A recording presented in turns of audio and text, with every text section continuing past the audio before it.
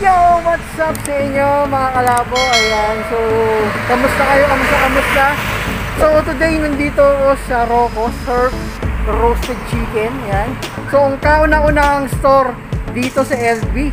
Ayan, so dahil nga nagpa, nagkaroon sila ng raffle at isa po tayo sa mga napili nananalo ng roasted chicken nila na garlic and yung lime and pepper flavor. Ayan. So, dalawa po yung napanalunan natin. Isa sa akin at isa doon sa akin.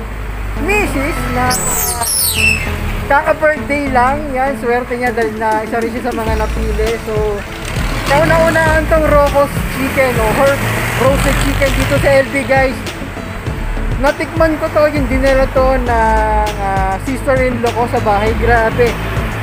Kahit walang sauce, di ba? Mga ibang store kahit walang sauce. Okay, pero ito guys, napakasarap, no? Lasang-lasa mo yung herb in. Only, no, dito na sa LB ang unang kauna-unang store nila. Grabe.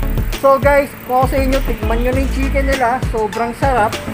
Balat pa lang, alam mo na na talagang super marinated. At yung herbs na sinasabi nila, talagang malalasahan mo. So, dito yan located sa may LB. Uh, sa LB, papuntang, katabi siya ng uh, LBDH Hospital. Yan. So, kung makikita nyo rin sa, sa likod ko, katabi rin siya ng spa. Itong, ano, itong Michelle Royal Spa. Katabi niya mismo itong uh, Rocos Herb Roasted Chicken. Madali nyo siya makita kasi along the highway lang. Kung galing kayo Robinson, right side. So, kita-kita nyo yung store nila. So, ito yung napanalo na natin guys. Ayan. Itong roasted. Diba? Grabe ito, herb roasted chicken.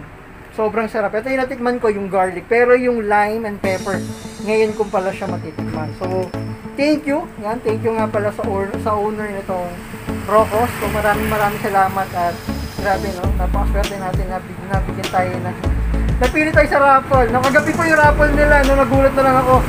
Minessage ako ni Ate Fiona, yun nga yung sister-in-law ko na nanalo daw ako, napili ko yung pangalan ko. So, grabe no, super blessed talaga. May, meron na kaming ulam. May ulam at hindi lang isa.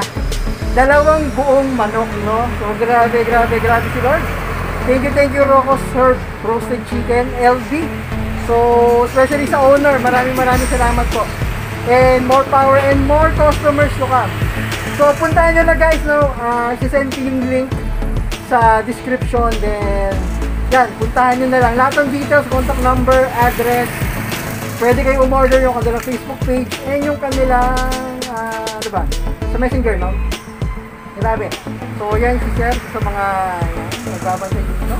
Grabe, grabe. So, thank you again guys sa mga gusto matikman. Punta na kayo dito. Sulit yung vibe ninyo and mura siya compare sa mga ano, sa mga chicken dyan na mga alam ninyo, no? So, dito talaga super affordable. So, marami pa silang flavor. May garlic, may barbecue, merong lime and pepper flavor. Kaya, sulit, Rocco's chicken na kayo, no? Surf and roasted chicken. God bless, guys!